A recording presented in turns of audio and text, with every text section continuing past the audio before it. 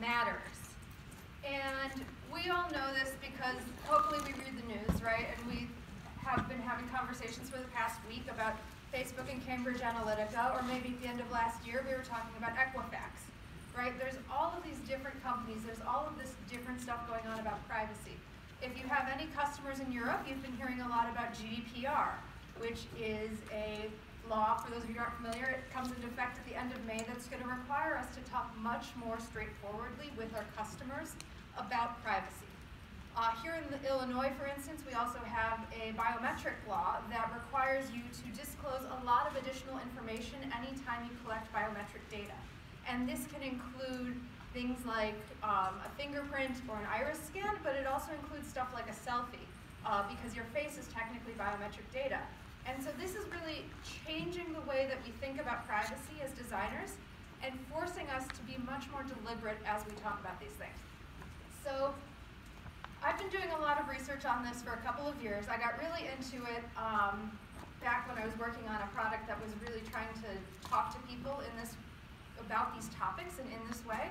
And so I've done a lot of research in secondary sources. I've talked to experts in the privacy space and then also have done a lot of in-depth interviews and intercepts mostly around the city of Chicago, where I will accost strangers in Starbucks and ask them if they will share stuff with me, and then see how they react, and use that to form the basis of my research.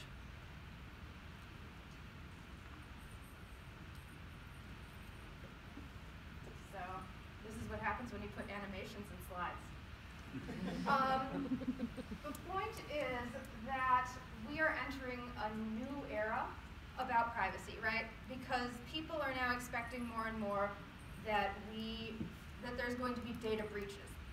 Um, and if you look at this research and you look at the way people have talked about why somebody might share with you in the past, generally speaking, you hear about the trade-off hypothesis. And this is basically where they say, you're asking me for this data, and I will give you this in exchange, right? Send me your photos and I will give them to your friends so that they can find out what's going on in your life. Or, you know, give, and, and it's this very, this very analytical sort of thing, right? Where like the, the, the user is gonna look at it and say like, okay, so given that I want this piece of information from this product, then I'm going to give them this other thing. And it goes beyond social media, right? We can think about Airbnb or which wants you to create a profile so that they can make sure that the host feels comfortable with you. We can think about insurance where they might want to give you a better rate. There's all of these different places where sharing comes into play. And the trade-off hypothesis is the, is the leading theory out there if you read about it. Uh, the only issue is that it's not right. Uh, there's been some great research out of University of Pennsylvania uh, that shows that this people aren't really weighing every single decision like this, right? And we've seen this before in behavioral finance, we've seen this elsewhere.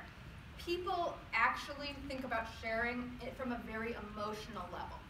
And they want to know whether you are going to be trustworthy, right? They want to feel like they're in a relationship with the product, not like they are being asked to do this very transactional ex exchange with somebody. Uh, and so where does this leave us, right? So I wanted to then find out, well, given this, why do people trust you? Why should they trust me, right? When I ask for your information, are you going to say yes? And like any good designer out there, I developed a two by two.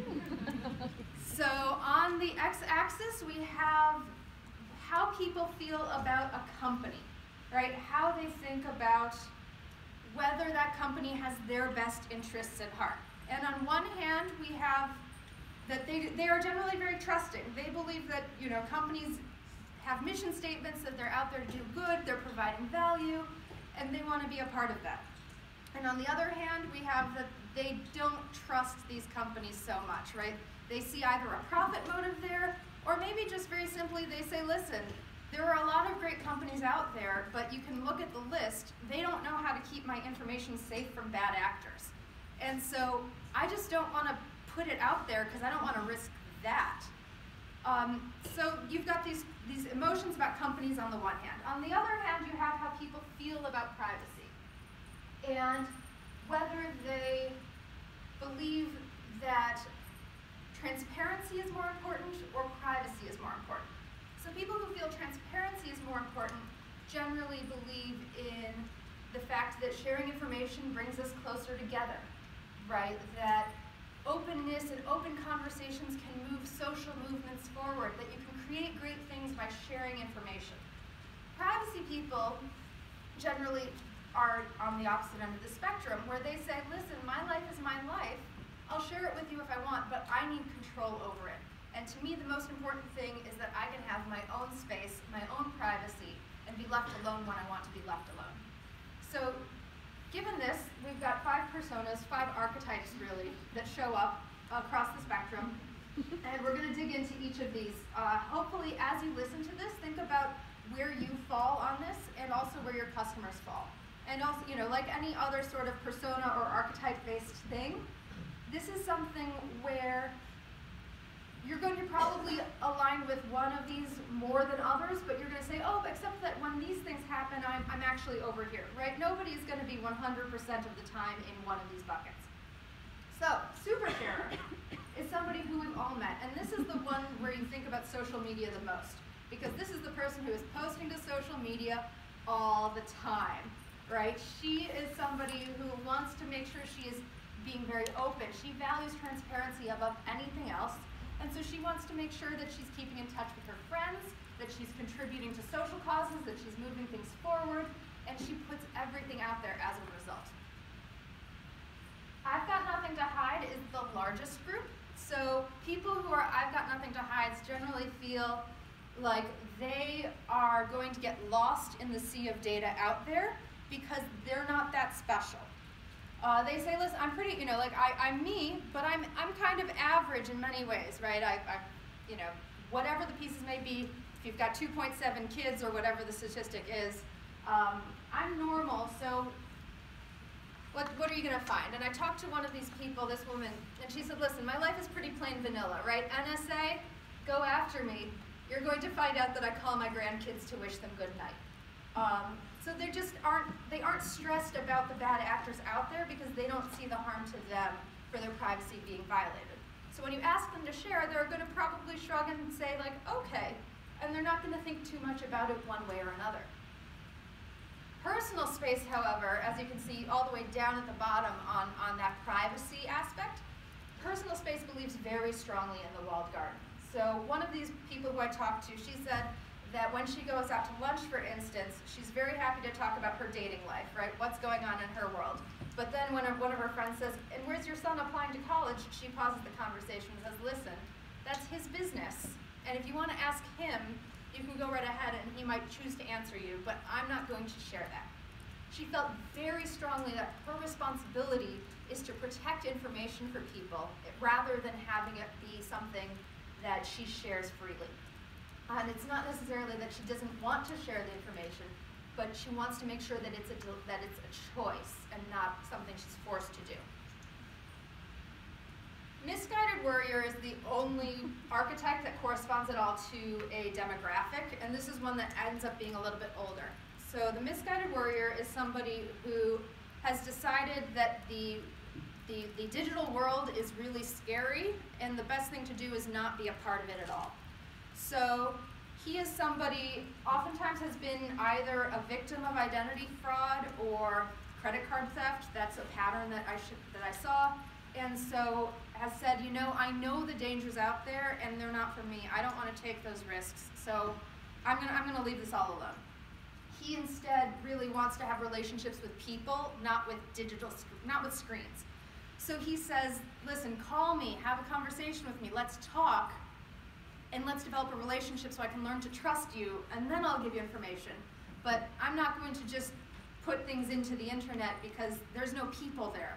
There's nothing behind it, and I don't, I don't trust it. And then finally, our last, our last category is the high-tech protector. And this is somebody who really understands the internet, understands technology well. And she has decided that because of these understandings, she believes she, she feels like there's a lot of risk and danger out there, and her job is to protect herself.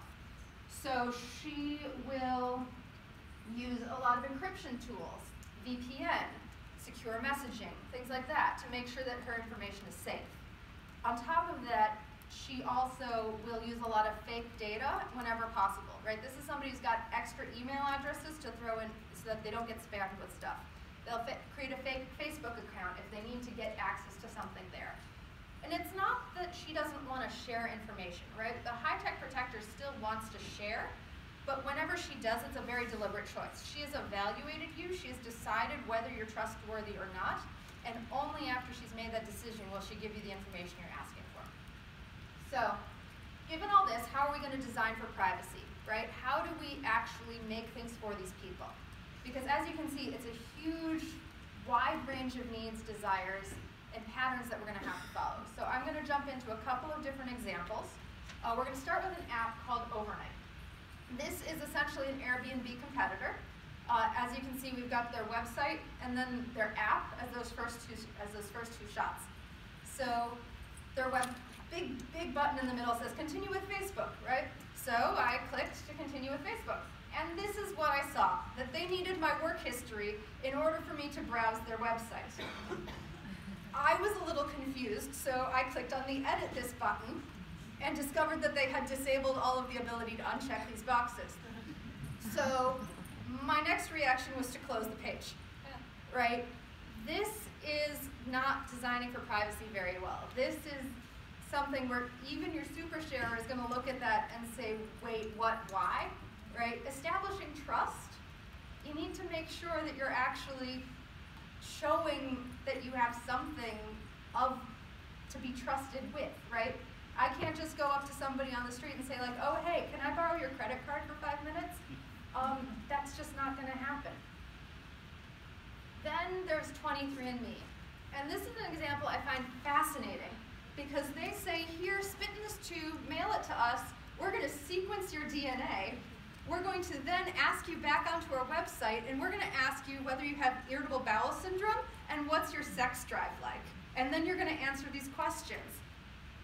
And people do it. Right? This is your barcode to yourself. And you will you will spit in the tube and send it off and not a lot of people worry about it. And I was trying to figure out why that is. And I looked at their messaging, right? Accelerating research and making an impact. And this to me was an aha moment, right? Because remember those people who really value transparency? The people who really want to make sure that you're that, that they're contributing to something when they share? 23andMe has got that in spades. Because what they do is they take that data, anonymize it, and send it off to scientific researchers. So all of a sudden, by participating in 23andMe, you get a little bit of information for yourself, but you get that feeling of contributing beyond this.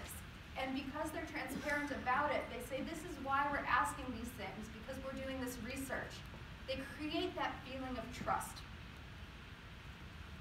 Another interesting example here, this is Zappos, right? So I put something in my cart, I went to the checkout page, and then I noticed this little thing on the bottom. Don't have an email address, don't worry. Give us a call to process your order.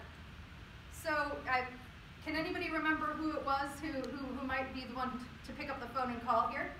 Right? It's that misguided worrier, the little pink pom pom, right? He's going to pick up the phone to call Zappos. And I heard this multiple times for people who don't want to put their credit card information in the internet, who don't want the email, they don't want to be traced. They are perfectly happy to pick up, they'll, they'll go shopping online, but then pick up the phone and call and give the credit card number to a person because they've developed that relationship and they feel like the trust is there. And so this is another way, right? There's, these are people who are unplugged in so many ways, and yet you can still get them, and you can still you can still invite them in with the right design choices.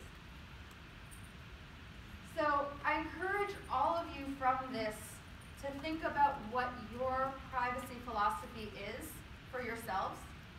The base that I'm going to encourage you to start with is here, right? If you don't need the data, then please don't collect it, right? just because you might need it someday doesn't mean you should start getting it now because that's really, every extra piece of data you collect is a chance to violate somebody's privacy and violate their own personal space and alienate them. Second, prioritize control and transparency. So give users the ability to control where their data goes and why it goes there. And then also be transparent. Tell them you're sharing it for this reason or that tell them what you're doing. If you're collecting it, why are you collecting it? Help them think about all of these things. And the reason that I encourage you to do this is because these are the reasons that they're going to trust you. The more straightforward you can be with them, the more honest you can be with them, the better it is, the more likely it is that they're going to then be willing to give you what you're asking for in exchange. And I'm going to just end to say that we can do better. I had these three examples up here. I searched for somebody who I thought was doing it really, really well, and I could not find them. There is nobody that I know of who is actually talking with full transparency about what they're doing with your data. Everybody says like, oh, but we have our privacy policy on our site, and you check the box when you register that says you've read the terms and conditions. And that is not transparency, and that is not honesty. That is just a step that people have to take because their, lawyer, their lawyer said to, right? So think about how it is that we can move this forward, that we can be proactive and leaders in this space, and actually disclose what we're doing just, and really explain it in a clear way. So thank you guys so much. Um, I don't know if we have time for questions. Yeah, we do. We have, we have a, a minute or two for questions. I'll also be posting these slides on Twitter afterwards. There's an appendix that cites some of the things like the, U, the, the University of Pennsylvania study on the, the trade-off fallacy and some other pieces there. So, uh, and please also, if you don't catch me now, I'll be around or, you know, tweet at me. So thank you.